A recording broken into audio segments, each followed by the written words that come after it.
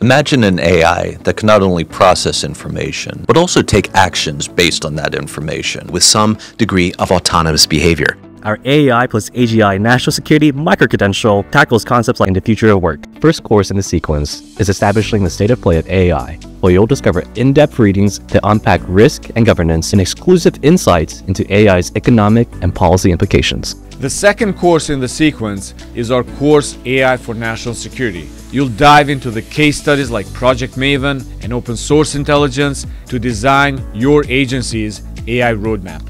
The third course in the sequence is Artificial General Intelligence in National Security. From today's global competition to the cutting edge of agentic AI, AGI, and ASI. You'll engage with expert led videos, interactive assessments that unpack the technical, ethical, and strategic dimensions of advanced intelligence. Congratulations on receiving your badge.